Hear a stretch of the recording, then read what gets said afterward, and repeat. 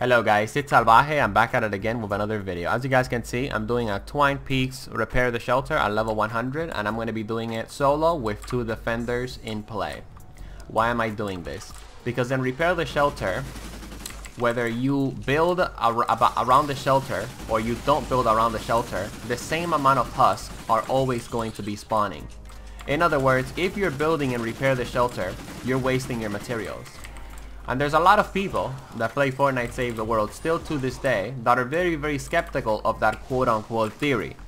No, it is not a theory. I actually tested this for 4 hours in a level 109 mission and throughout my 4 hours of testing I realized that whether you build a lot or you don't build anything around the shelter, the same amount of husks are always going to spawn. And I want to showcase that by proving that that's true. By soloing this level 100 mission because apparently you know level 100 missions are supposed to be like really really hard. Not really you know they're not that hard if you know what you're doing.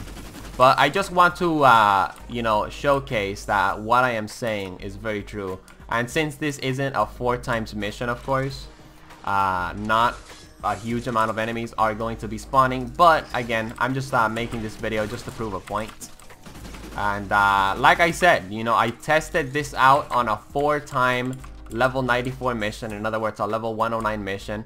And for the four hours that I tested it, I realized the same thing. Whether you build a lot or you don't build anything around the shelter, the same amount of husks are always going to spawn. I'm going to find all the modules and then I'm going to get back to you guys.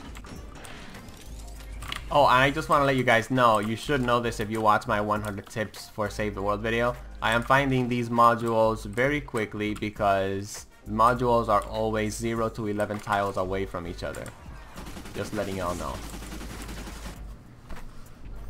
Alright, now as this last shelter is installing itself, I'm gonna go over my loadout. I'm using Urban Assault Headhunter I'm using Urban Assault because I didn't want to use an easier hero to solo this mission with, like for example, uh, an Enforcer Outlander. I have Master Grenadier for the assault damage, and of course I have Swordmaster Ken for the uh, Shockwave movement boost. And the only reason why I'm running uh, this guy on my tactical slot it's because if I need to go from one area of the shelter to the next, I want to have uh, a movement boost so that I can make it, you know, for example, if the shelter's in danger. Now, the biggest uh, misconception that a lot of people have is that if you don't put any protection on the shelter, the lobbers are of course going to take it out. Oh, like, nice. We, we're getting a husk flinger wave. Now, you guys have to keep in mind that for the most part, the lobbers are mostly going to be shooting towards you, or they're going to be shooting towards structures that you have built. As you guys can see, that lobber just shot me, not the uh, shelter that I built. Okay. I get it. You vape, bro. Now, I have my defenders also on the base. So if any husk basically get close, my defenders are going to take them out. And keep in mind, I have two sniper defenders.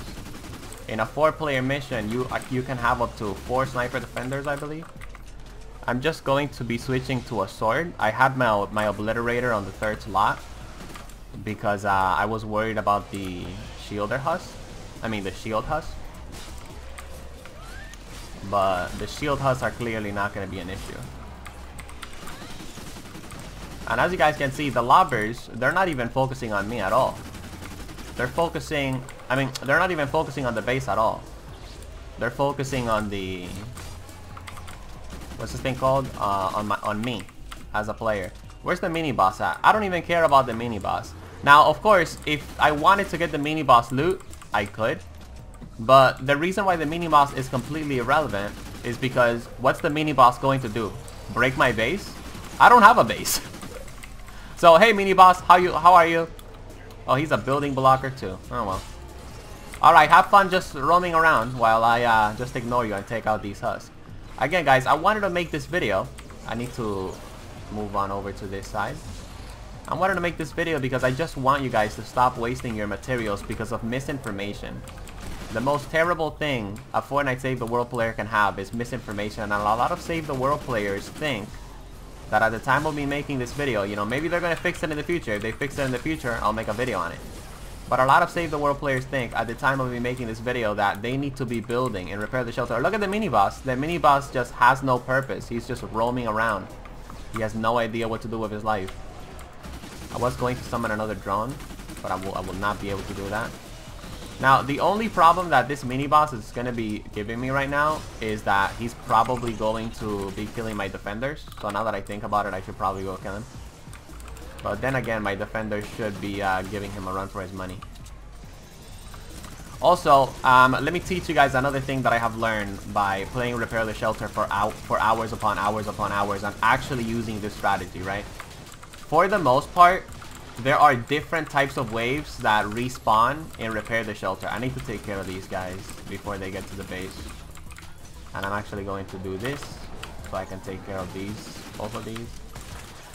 There's going to be specific waves of enemies that are going to be spawning. So you're either going to get like a flinger wave, you're going to get a wave that has a lot of mist monsters like flingers and smashers, or you can just get a wave that's just uh, lobbers and flingers, which is the wave that we got right now. And as you guys can see, look, the lobbers, they're not even, they're not even, uh, you know, shooting towards the base. They're shooting towards me. Because that's what the Husk are programmed to do.